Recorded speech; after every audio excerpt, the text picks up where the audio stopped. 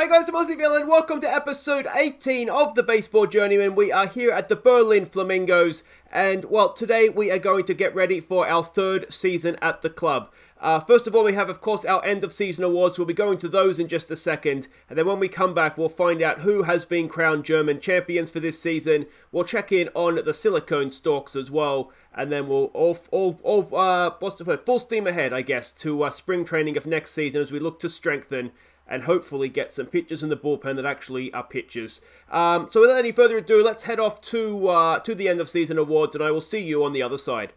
Ladies and gentlemen, welcome to the Berlin Flamingos end of season awards. Oh, thank you, thank you, everybody. Thank you, Berlin. Danke, danke. Oh wow, what a crowd, what an audience, and we'll tell you what, what a season as well. Nobody expected us to get into the postseason this particular year. We did that, and oh, we were so close, weren't we, to going even further and uh, and challenging to be German champions. But we'll come back next year, bigger and stronger, and looking to uh, looking to take down this league. But before that, of course, we have to uh, we have to I think thank the players for their efforts this year. Boys, you all put in a fantastic effort. Well done. Congratulations. The first award this evening is for most wins by a pitcher, and this man turned up, and oh how he turned up this season. He set a club record with 11 wins, and the winner is, of course, the Hoff, Tyler Benninghoff. The next award is for the highest batting average, and well, two awards tonight and two club records. An insane average of 514 this season. This man was an absolute beast at the plate. And the winner is Byron Mills Jr. The next award is the Golden Bullseye, awarded to the man hit most by pitchers. And this guy wasn't a regular starter, so to uh, you know, win an award like this, it really does take some dedication. Being hit four times, the winner is the backup catcher, Kyle Ascher. The next award is the Golden Anchor, awarded to the man who drags us down, the man who has hit into the most double plays. And, well, this guy just goes to show if he's not getting hit by the ball, it's probably better he's not doing anything, because with four double plays hit into, the winner is, get back up here, Kyle Ascher. The next award is the Golden Boot, awarded to the pitcher who has issued the most walks. And this year, well, this guy put up a really good effort, 43 walks. He was a regular starter, and, well, he wasn't quite as good as the Hoff. The winner is Vince Coletti. The next award is the Golden Glasses, awarded to the batter with the most strikeouts this season. And, well, another club record this season for uh, in this category. It was a stunning effort of 41 strikeouts. And the winner is the name we all love to say, Peter Freundorfer. The next award is the Golden K, awarded to the pitcher with the most strikeouts. And this year, it wasn't just a club record. It was, was it fourth or fifth all-time in, in uh, German baseball history. It was a stunning season. 178 strikeouts. The winner is Tyler Benninghoff. The next award is the Golden Broom, awarded to the man who sweeps clean the bases, the man with the most RBIs, and it was yet another club record this season in this category. With 43 RBIs, the winner is Byron Mills Jr. Now it's time to acknowledge the pitcher with the lowest ERA. And this guy, he was reliable for us out of the bullpen, and we didn't have much of that at all this season. But with an ERA of just 2.63, the winner is Jens Wedemeyer. And now it's time to acknowledge the hitter with the most home runs this year. And this guy wasn't always the most reliable, but when he does hit the ball, oh boy, oh boy, does he hit the ball. With five home runs, the winner is Jimmy Kolawole. And now it is time to acknowledge this season's worst player with the awarding of the horse's ass. And I thought we were relatively good all season long, to be honest. But big moments cost seasons. And, well, this man dropped an absolute clanger in centre field that arguably cost us a chance to go to the Championship Series. So this season, for being unable to catch a regulation fly ball, the horse's ass goes to Marcel Vockel. And now it is time to acknowledge this season's best pitcher. Now, there is a formula we used to determine this, but we don't need a formula to decide who was in our best pitcher this year, do we? But let's go through it anyway. The formula is, as long as all the winners for tonight's awards actually is listed down in the description. Uh, but let's have a quick look here. In third place with a score of 12.93, it's Wedemeyer. In second place with a score of 13.59, it's Vince Chops Coletti and the winner with an incredible, insane score of 53.29. It is, of course, the Hoff, Tyler Benninghoff. Alright, now it's time to acknowledge the best hitter. Uh, well, it's a hitting league, isn't it, the German league, and we had a number of guys that were absolutely immense with the bat. Now, there was a formula we used to determine this. That, again, is listed down in the description. But in third place, with a score of 23.61, please sign a new contract, Drew Campbell. In second place, with a score of 31.61, it's second baseman, Leo Burra. And the winner, with a score of 39.9, it is the catcher, Byron Mills Jr. And now it is time to acknowledge this season's Flamingo of the Year with the awarding of the Golden All-Star. And we had so many good players, didn't we? But I think we only really had one outstanding player that at a league level was, was setting records that will stand for a very, very long time. So this season's Golden Star goes to the Hoff, Tyler Benninghoff.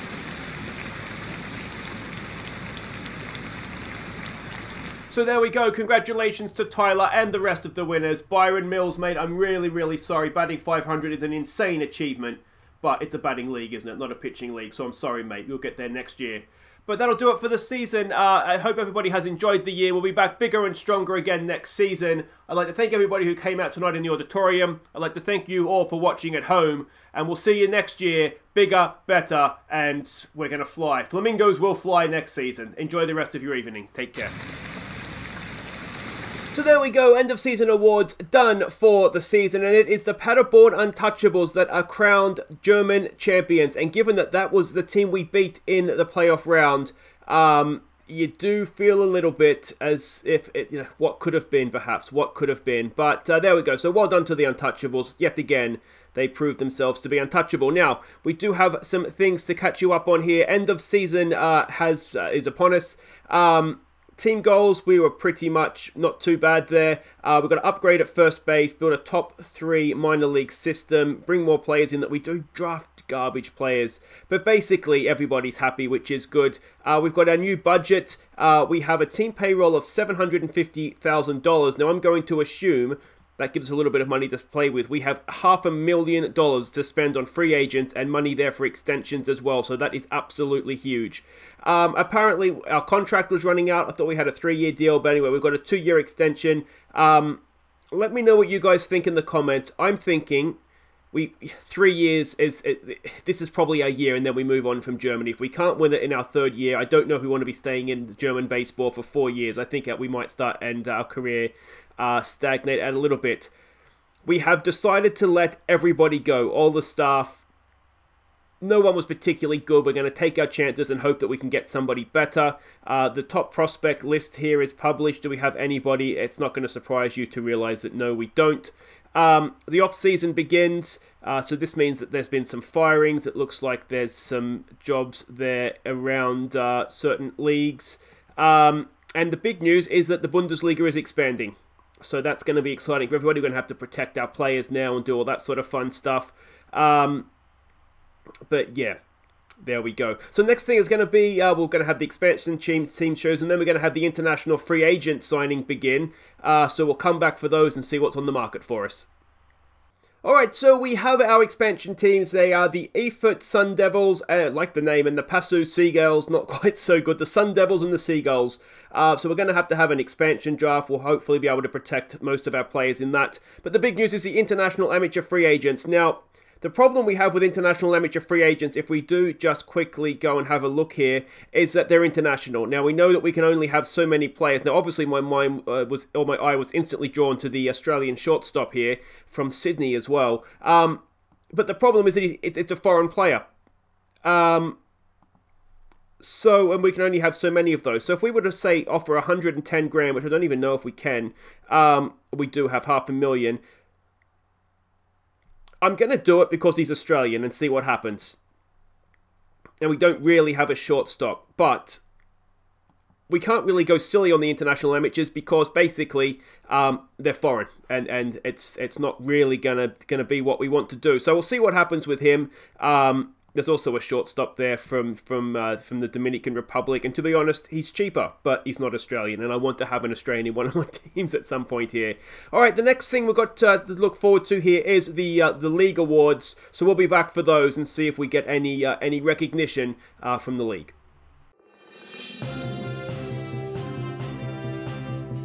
We have breaking news out of Berlin on a busy day for the Flamingos, where three contracts have been signed. For more on this, we cross live to local reporter Nico Schweinsteiger. And Nico, this is good news for yeah. Villains team. Yeah, yeah, it is wunderbar for the Flamingos as the Drew Campbell signs as the three-year extension while Thomas Pape is signing for another year also. Uh, while uh, the Australian shortstop uh, Reese Coleman is also calling the Berlin home. Okay, so a lot to catch you up on. The big, great news is that Drew Campbell has signed his extension. He was wonderful for us last year, uh, an on base percentage of 638. That is absolutely ridiculous. So he has signed a three year extension, 50 grand a year. Um, given the money we have, that's absolutely fine. It's a bargain, as a matter of fact. So that's excellent news. Um, further news we did get our young Australian shortstop, Reese Kalman. Um, so we'll put him in the squad. Obviously, defensively, it is a little bit of an issue. Um, but I mean, if we look compared to Major League Baseball, he's a potentially a Major League Baseballer. Um, so it's an absolutely wonderful, wonderful signing that we've got there, uh, and hopefully, hopefully he'll do a good job, even if it is maybe to begin just as a designated hitter. Uh, and the other good news is that Thomas Pepe, uh, at, well, we'll get to in a second, now three-time Golden Glove winning shortstop. He has signed for another year. He's a really, really good defensive player. Um, with Kalman coming in, he might be less of a starter for us, but he batted 357 last year, so he was, you know, by no means was he uh, was he terrible. And if we do have a look at the Golden Glove winners, and we do have Golden Glove winners, Jimmy Kolawole has won himself another Golden Glove at first base. He is a really, really good defensive player. Um, unfortunately, he will be leaving us. His contract is up, and he's 36. He's a foreign player, and he just didn't do enough with the bat uh, to stay, but he's won himself a fourth Golden Glove. Uh, other Golden Gloves winners, I said, Thomas Pape. Uh, he's now got three Golden Gloves in a row, and was that the only two? That was the only two. Um, so well done to them. The next award we have is for Reliever of the Year. Um, if it's any of our guys, maybe Wedemeyer actually, he was quite good. So it's not a, a, surprise to anybody. Wedemeyer was there. He was third in the voting, so maybe a little bit unlucky. Uh, but the winner went to a Paderborn Untouchable, which is probably fair enough. Um, so well done to him. And there was the uh, winner of the north side of things as well. Uh, the next award is the Platinum Sticks or the Silver Sluggers, or whatever they're called. So here we go, and we do have some winners. Byron Mills Jr., that's not a surprise, is it? Giving he batted over 500. He is the winner for catches, so well done to him. Uh, if we go down and have a look a little bit further here, I thought maybe um, Leo Burra at second base, but not to be. Uh, left field was not. Uh, we got a centre fielder, Marcel Vockel. What is it with our centre fielders winning the Silver Slugger? Because it was Van Mensel that got it last year. Um, centre fielders in Germany apparently just cannot bat. Uh, so that was the only two again that we got. Um, so maybe a little bit of a shame there. Um, we can see the winners for the south side of things. Uh, the next award is the Rookie of the Year. Um, it's got to be Drew Campbell, doesn't it? It's not Drew Campbell, and the other obvious candidate was, of course, Tyler Benninghoff, and it's neither of them, uh, which is a little bit outrageous. Instead, it goes to Victor Ruiz, um, who is, to be fair to him, quite good. Uh, fractured foot, he is out a little bit. Uh, third baseman, fair enough, I guess. He batted over 500 as well, so well done to him. Uh, and the Rookie of the Year. On the other side of things goes to Jonah Davis. Now, of course, we came across him in the playoffs, didn't we? Um, a centre fielder who can hit, apparently. So it's just the uh, north side that doesn't have centre fielders that can hit. Next award is the Manager of the Year. It's probably not going to be us. So no, it's the Paderborn Untouchables manager. I shouldn't have dismissed this actually. You know, we did come second in the division, but it is the Paderborn Untouchable guy that won it, which is just about fair enough. Uh, the next award is Pitcher of the Year. Benninghoff has to be every chance. Not only did Benninghoff not win it, he wasn't even the highest rated uh, Berlin player. Jonas Wedemeyer got ahead of him, which is absolutely outrageous. Calvin, this guy, has won it. Uh, again, it's a German. You know, well done to you, I guess, but it's an absolute outrage. Not that he was bad, but it's an absolute outrage that Tyler Benninghoff has not won that award. That that that actually disgusts me. Anyway, there we go. So the Cy Young, the German Cy Young, goes to uh, not Tyler Benninghoff. The next award is MVP. Byron Mills Jr. Maybe he's a chance. So, no, Byron Mills Jr. comes in second to Ameke. We came across him, of course, as well. Uh, a German. He's a free agent as well, so we might have a sneaky look at him. Um, but yeah, there we go. So he is the German MVP, just ahead of Byron Mills. Uh, is there anybody else? Who else do we have up there? We had, did have Drew Campbell. We had Leo Burra. Uh, we had Wedemeyer why is he so popular? And Tyler Benninghoff did get a mention in there as well. So well done to uh, to everybody there. Braden, who of course we came up against in the playoffs in yesterday's episode. So that's all the awards done. Next thing is going to be free agency. Uh, so that's going to be exciting. We'll see what sort of damage we can do. Okay, now before we go on, there has been one player leave the club that I think is maybe worthy of a, of a candidacy or a nomination to potentially go into our Aussie Villain Baseball Journeyman Hall of Fame, and that is Koja Vocek. Now, during our two years at the club with him, he had a batting average of 380. He stole 42 bases, and he was a one-time All-Star uh, on, in those two seasons. Now, there's a link in the, uh, in the description down below. Go uh, down there and click yes or no. Should Vocek be entered into our Hall of Fame as a um, as a Berlin Flamingo? Uh, yes or no. Seventy-five percent of the voters required. Don't be uh, don't be nice. Be harsh. Be honest. Do you think he's worthy of going into our Hall of Fame? We'll find out next episode. Okay, so here we go. We do have our free agency. Now, I haven't forgotten about the Storks. Their season is still going on. We will check in before this episode is done. Uh, but the free agents has been filed, and we can see that there are some decently big names. Uh, that have been that have been released here. Obviously, Braden is a good German player. We have our foreign players. I think for the most part, we want to be looking at, at the Germans. Now, obviously, Cardozo, a shortstop. Now, we've just signed that uh, young Australian um, so I don't know if we want to go in on a shortstop, but that is certainly uh, interesting. And the fact that he's left the Untouchables is maybe a good sign for us moving forward. Um, I mean, the big one is Ian Post, isn't it? An absolute star of German baseball. If we could get him in, that would. I mean, he's a terrible right fielder, but anywhere, just anywhere, you'd get him in just to get his hitting in there, wouldn't you? So maybe, maybe, maybe we can go in, have a look at him. We've got a German catcher. We do, of course, have Byron Mills Jr., and we also have um, we also have Ascher as the backup, so we probably don't need another catcher, though this guy is certainly a very good one.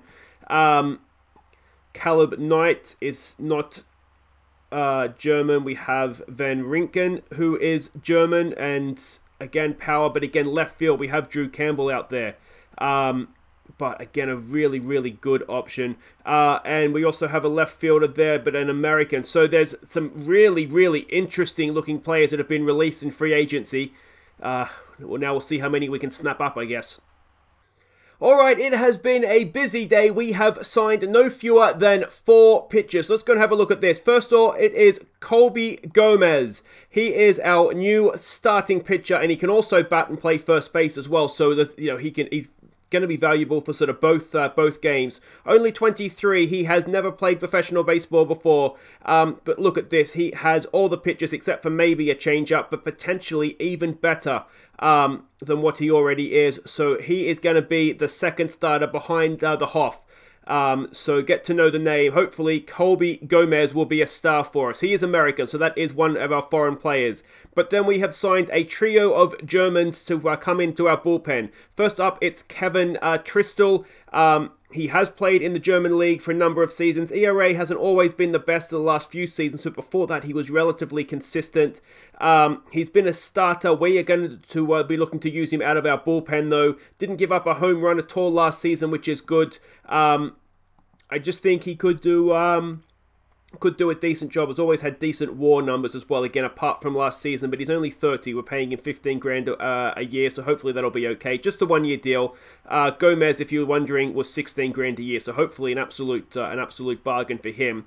Next up, it is Sven Mitchell. Uh, again, we've got someone here for the bullpen. Not the most pitches, but he's generally good. Uh, he led the uh, the league in saves. We've signed him from the Hawks. Um, so I think we actually came up against him in the postseason, didn't we? Only 21 as well. Really good ERA last year. Uh, ERA plus was 483. Whip was just a smidgen above one. He pitched 20 innings, so it's a decent sample size. Um, yeah, I think he could be a really, really good bullpen pitcher for us. He's got decent stamina, so again, somebody else who could maybe start a game if we needed him to, but not with two pitchers. But you know what I mean? It would be an option. Uh, and the third guy is Hans Stoltz. Um, again, it's someone that uh, has started games traditionally, but we will not be looking to using to start games. Again, from the Hawks, really good ERAs by German standards, uh, pretty much, well, the last four years there. Always had good WAR numbers, um, good uh, strikeouts per walks as well. Um, we're paying him 21 grand a year for three years. And again, I think he could do a really, really good job in the bullpen. So I'm thinking he's a two time All Star as well, was an All Star last year. Um, so I'm thinking we may have done a really good job strengthening the bullpen there. Uh, let me know what you guys think in the comments. Um, I'm thinking that's maybe the pitching done. Now we've got to see if we can strengthen uh, strengthen the hitting.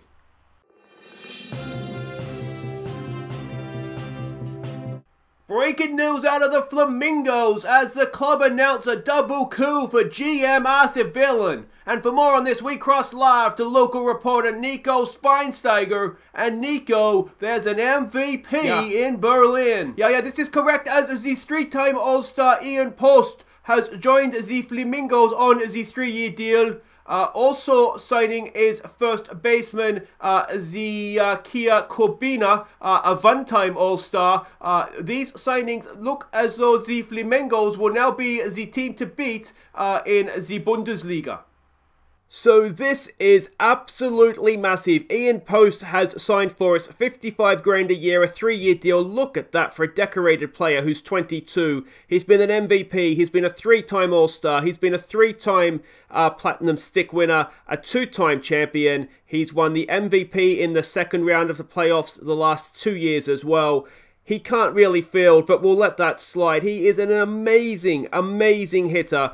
We've got him off the Paderborn Untouchables, and I tell you what, we might just be the Berlin Flamingo Untouchables if this uh, if this is what the season could be. I'm genuinely excited for our upcoming season now. We've strengthened the pitching, and we've got Ian Post, and just not quite as big, but almost as big. Kai Kubina has also come and joined us, a 21 year old German first baseman, a left handed hitter, um, a good defensive player. Uh, now, we know that uh, Kolawole was a Golden Glove winner at first base for two seasons. This guy potentially could do that for us as well, but he could also get us quite a few hits. He led the league with eight home runs last season, 46 RBIs. Um, oh, we're looking a really, really good team all of a sudden, aren't we? So that's absolutely massive. We've got two huge, huge signings in. And I tell you what, get your bets on now. The Flamingos are going to be a force in 2024 German baseball. Hello, is this the Passau Seagulls? Hi, it's Aussie Villain. Yeah, yeah, I'm good, thanks. Listen, I just wanted to call and welcome you to the league uh, and see if there's anything you need. Are you sure? Oh, you can never have too many starting pitchers, mate. Yeah, well, it just so happens that I have a guy that uh, just might be a fit in there. no, not the Hoff. Don't be ridiculous. He is American, though. That's right, Coletti. Yeah, yeah. What would we want for him? Well, I'm sure we can figure something out, mate. Um, what about your shortstop? Really, an all-star? I hadn't realised. Well, I mean, Coletti's a future all-star, so I'd say that's a fair, a fair, uh, fair swap. Well, I'll tell you what, mate. If you're not sure, uh, maybe I'll look to send him somewhere else. It's a deal? Fantastic. So there we go. Vince Coletti has left uh, the Flamingos. He never really did it for us, did he? He was okay last year. He had a WAR of 1.7, uh, but his WHIP was always high. His ERA was always a little bit too high uh, for a, for a foreign pitcher. We know that we've already got in um, Gomez to come in and, and start. So he could have maybe had a role in our bullpen, but I think we could probably do better for a foreign slot. So we've shipped him off to one of the new boys, Passau Seagulls, and in return, we've got ourselves a new shortstop, Lucas Helber. Now, he was at the Hawks last year. We remember him uh, from last episode. He's a Golden Glove winning shortstop two times, an All Star, a uh, also a Platinum Stick winner at shortstop. So he's he's basically uh, like Thomas Pape, but he can hit. Um, so that's really, really good news for us. So he's coming to the lineup, and my basic plan now is that uh, Pepe will move over and defensively play at third base. Still be terrible with the bat, but we'll get another really good fielder in. That means Freundorfer, uh, he sort of drops out of the lineup. He can play first base, so we'll try and improve his defensive rating so he can sort of cover a backup at first base and at third base. And it means that Reichertz, uh, who of course was quite good for us at times last year, uh, batted 429 for the little bit that he did play, um, he just drops out altogether.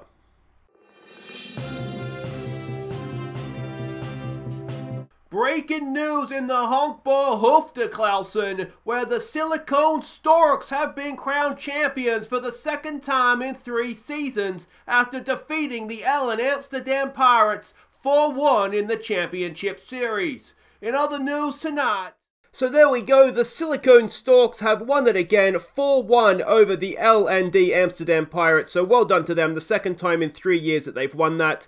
We have a quick look here. Uh, there's still some familiar names. Ryan Jackson, our shortstop when we won it, is still there. He had a good uh, final series. Francesco Carabello is still there. Uh, only two home runs in the postseason this time. Urbanus still around and doing a good job. Uh, and we've got Ventura is still there, one of our youngsters.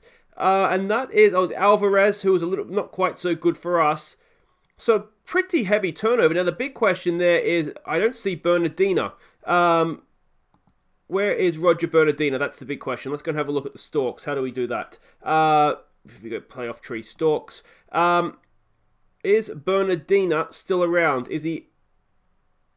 Bladell is still there, but on the bench. That surprises me. Uh, although there is foreign player limits, isn't there? Bernardina, Bernardina, Bernardina. I don't see Bernardina. Roger Bernardina, there he is. So he is still in the lineup. Uh, he is a free agent, is he, at the end of the season? He is... Uh, he can't really field anymore. His legs are gone. He only batted 231 this year, so maybe we're seeing the end of the king. Um, but uh, yeah, there we go. Roger Bernardina is still around. He is still a silicone Stork. So well done to them. It's good to see them winning the trophy again, isn't it? Okay, we have a little bit to catch you up on. First of all, meet our new closer, Stephen Fuentes. We signed him on a free transfer from free agency. His last club was uh, the Oakland Athletics. He has played in Major League Baseball, and I tell you what, he pitched seven innings, ERA of 2.5, and a WHIP of one. So if he can keep that form going, he will be a good uh, a good addition for us. Um, but yeah, so he's going to be our closer for the new season. Obviously, that's a foreign player, which means we need to get rid of a foreign player. Uh, so if we go and have a look at the trade we've done, and that is getting Edgar Martinez out of our team. He wasn't particularly good last year. Um, he had one good year at Paderborn, and maybe that was the outlier. Uh, so we've got rid of him. We don't obviously need him now. We've got Fuentes in our bullpen, so he's left. And in replacement of him, we've got another Amer- American. We've got another foreign player, but I just couldn't turn down this trade. We've got a really, really good first baseman defensively. Really, really good hitter. He batted 500 last season. Um, I couldn't say no. Couldn't say no. He's a leader as well. Uh, so what this has meant for our lineup is basically that our young Australian shortstop, uh, we've had to ditch him for now. Um, let him see if he can develop a little bit, uh, and that basically means that uh, if we go and have a quick look at the lineup, and let me tell you, our team is just absolutely mouth-watering right now. It means that Granberg will come in and play first base, and it means that the new designated hitter will be Cabina. Um, obviously he can then come in and play first base as well. We have options to move things around. Um, but that leads our, our foreign players now as Byron Mills Jr. And I'm wondering out loud now if we could maybe he batted 500 last year, but I'm thinking maybe we could get rid of him and get a better defensive catcher in. Um, Yeah, but anyway, so he's one. He's our foreign player now, along with Granberg and also Drew Campbell, who's an who's an well, he's a star, an absolute star. So our lineup is looking tasty right now. I cannot wait to get this season started. Alright, we are at spring training, which means we have to bring the episode to a close. But we have a quick look and meet our team here. What a team it's looking as though we are building here. So many players that are ranked first or second in their position. It's really, really, really good. Um, in fact, you might even say it was going a little bit too well. And you would be correct, because what has happened, if we look at the schedule, is that we've gone to like a MLB style, we're going to play every day. Um, which in and of itself isn't a massive deal. The season's done in April, which just leaves quite an off season. Uh, but yeah, not a problem in and of itself. But the problem, of course, is that we've built a pitching staff basically um, to play a two game series once a week. So we don't have enough starters now, and I'm not quite sure how we're going to get around this. The one positive we do have is uh, we can see we've moved Stoltz in. Now, he's predominantly been a starter throughout his career uh, and done a good job of it. We've got Wedemeyer, who again has been a starter before he came to us and done a good job of it uh, for the most part. Uh, Mitchell again has been a starter, uh, you know, in the past. He's got the stamina for it, maybe not the pitches. So we do have we do have pitchers that can go and and, and start games. Another one there you can see Tristel again was a starter last season. Um, it's just it's just a numbers thing, isn't it? So I'm hoping that the pitchers do seem to recover very quickly uh, in European baseball. So I'm hoping that we'll be able to get by with three starters. If not, it may be a situation where we're going to have to sacrifice somebody out of the actual lineup um, and bring in and bring in another pitcher. Um, we only have a 20 man roster. That's the spring training roster. We only have a 20 man roster everybody's going to be in the same boat in the league though so you know we'll, we'll kind of play it by ear and see where where we end up um, but i suspect we might still need to go and do a little bit of business and maybe get another pitcher in um, we don't really have too much by way of german pitchers uh, we'd be looking at bringing Brunkhorst back in, who of course was an embarrassment last season. How he didn't win the, the, the horse's ass is beyond me, actually. Uh, Dominic Werner always did a decent job. Maybe he's someone we could look to bring back in. Um, but yeah, basically, that's a little bit of a spanner in the works. It's a massive spanner in the works. We'll just have to see how it sort of plays out. Um, but uh, but yeah, there we go. Now we have uh, we have got our staff in. Our new manager is Carlos Alz- Al Almanza. Um, he's never managed before. The reason we got him in is that he's supposed to have a decent development influence. Whether that works or not, time will tell. He's certainly no worse than the old guy. Um, so we'll wait and see what happens there. The bench coach we've got in is Ronnie Weltley. Again, first year, uh, first year guy. We were desperate. He is not necessarily the best. But again, we'll see how he goes. New uh, pitching coach we got in was uh, Yu Chen Zhen. Um, he's previously done a decent job if you look at ERAs here with uh, the Guardians. Uh, I'm not quite sure. CBL, what's that? Chinese, so in China. So uh, he's done a decent job there, so I hope he does a good job for us as well. Uh, we've got the same hitting coach, the same scouting director, and team trainer. We did have to get, I basically got the same guy back. Um, I got him on a three-year deal this time. I had to go into commissioner mode because there was no team trainers. So we just got the same guys last season. He's not he's not good by any means uh, and manager options, you can see that we are now out of commissioner mode. So um, that just kind of is what it is. But there we go. That's going to bring us to the end of the episode. Let me know in the comments what you think. Will we be able to go and win the league next season? Pitching aside, or starting pitching aside, we've certainly put ourselves in a very, very good position, I think. Um, don't forget to go and vote whether Vocek should enter our Hall of Fame or not. And we'll be back next time to get the season underway against the Solingen Alligators. Uh, so that will be interesting. Both the expansion teams have come into our division as well, which makes me wonder if that is why um, the, the, the fixtures have been rescheduled, if the game sort of defaulted back to MLS style um, fixtures or schedules with the with the expansion. But anyway, that's all for next time. We'll get things underway against the Sol- Solingen Alligators. Uh, don't forget to hit thumbs up, subscribe if you're new, and we will unleash our flamingos next time out. Take care.